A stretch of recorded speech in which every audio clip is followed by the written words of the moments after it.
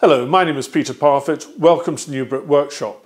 We're looking at cutters to go in the CNC machine today and I've got a variety to show you. They're kindly provided by Routercutter UK and they're all made by the Whiteside Machine Company of the United States. Now I've got two sets to show you. The first is the CNC starter set number 705. That consists of five cutters. There's a 1 16th of an inch ball conical, a 1 8th of an inch ball conical, a quarter inch spiral upcut, a 90 degree V cutter and a 60 degree V cutter. Now the second set is the CNC carving set and this has got an eighth of an inch ball conical, 3 sixteenths of an inch ball conical and also a quarter inch ball. Now, in my previous video, I said that I would uh, do some chip load calculations. Uh, I've got installed a, a quarter inch uh, upcut, uh, two fluted cutter.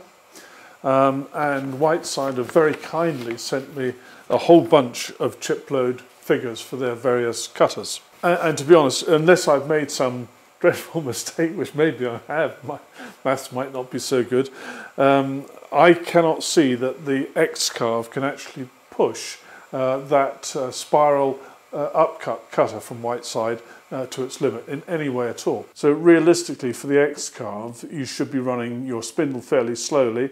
If you've got the DeWalt uh, like me, uh, around about speed setting 1 or 2. So, and if you keep your uh, amount of cut, if you're doing a, a straight channel or groove, no more than half the diameter for the depth, uh, and if you're doing uh, a, a, facing cut, then uh, the amount that you're taking off at one time should not be any more than the diameter times the radius.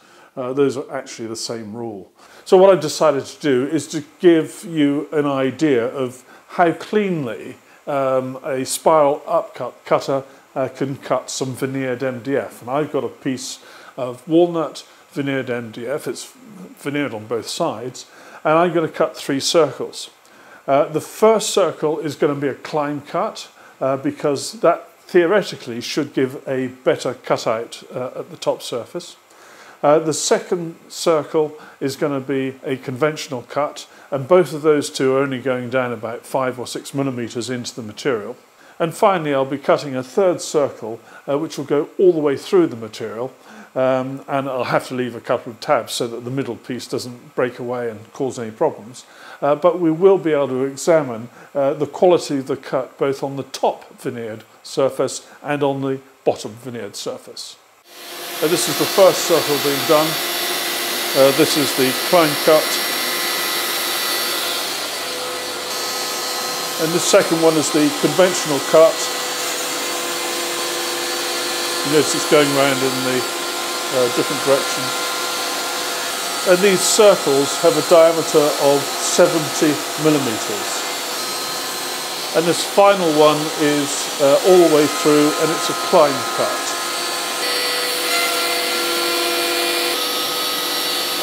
That's it, job done. A little bit of dust in the hole in there. Now here we have the results. Um, unfortunately when I picked this up I broke uh, this uh, circle out because uh, it was only held in uh, by the veneer. Now this was a climb cut at the end here. This first one was a climb cut. Uh, now it's noticeable that the outer uh, quality here, which is probably the one we would be after, is better with the climb cut uh, compared to the uh, conventional cut.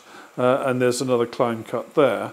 and underneath here, uh, the uh, breakout is absolutely minimal. So uh, that's pretty good. Now, what I'm going to do now uh, is just give this a very light sand across here uh, because you would be sanding something like this after you've uh, operated on it.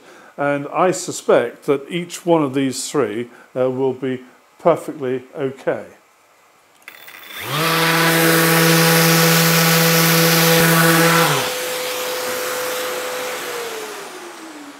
Well, there we go. Um, and uh, to be honest with you, I, I, would be perfectly happy uh, with all three of those. Uh, this one here, which is uh, probably easier to see, is absolutely perfect.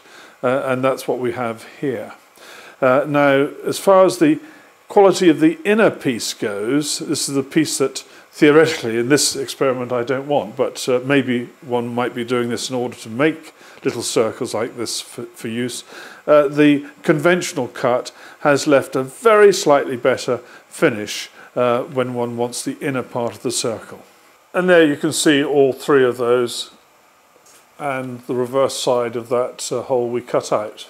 So I'm very pleased with that. I think that's an excellent job. Well, here's my first effort at a bit of artwork uh, using the quarter inch uh, spiral upcut around here to make this a little border.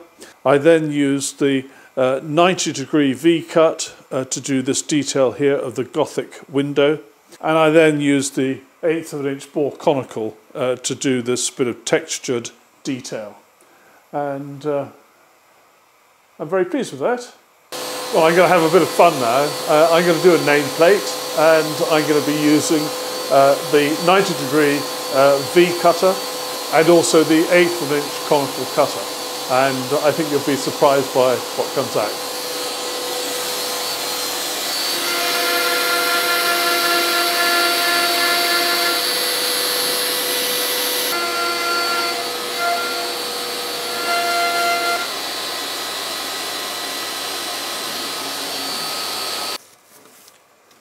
Now I've just taken this uh, 90 degree uh, V cutter out and uh, it's literally only been stopped for uh, less than a minute and it's quite cool, it's not overheating and so the parameters that I set for that I'm quite happy with. I've now put the eighth of an inch um, conical cutter in. There we go, that's in place. So I'm ready to load my file and do my cut. So ear defender's on.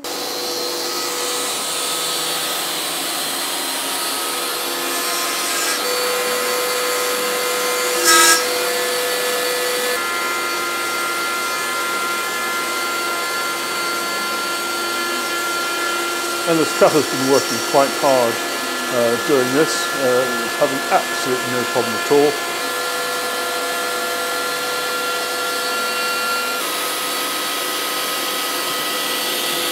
And there we go. That's it. Another job done. And just like the uh, V bit, I've taken this uh, eighth of an inch uh, conical uh, round over bit out and uh, it's within a minute of it doing all that work, I'm handling it, it's not overheated and it looks just as good as it was when I put it in. And there that is. All I need to do is a little bit of trim of the wood and uh, a little bit of finish on that and it'll be good.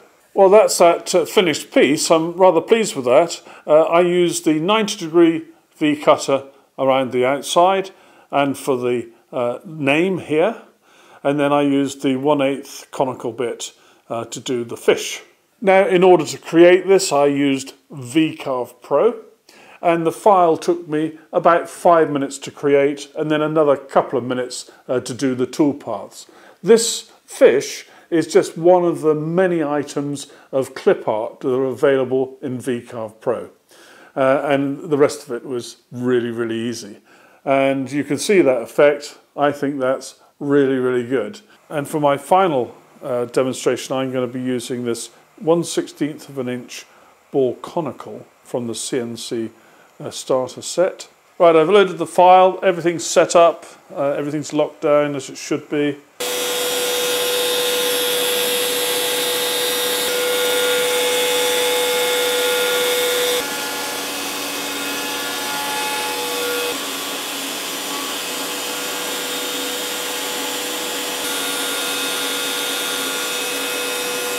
Well, that's complete. Uh, I don't know if you're able to notice just how little dust there is uh, around the periphery of the job. Uh, I'm really pleased. I, I lowered the dust boot down just a little bit more than I'd done before.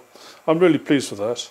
And just like before, I've taken this bit out uh, as quickly as I could, uh, and uh, that's not hot at all. It's just to do a bit of tidying up on the outside.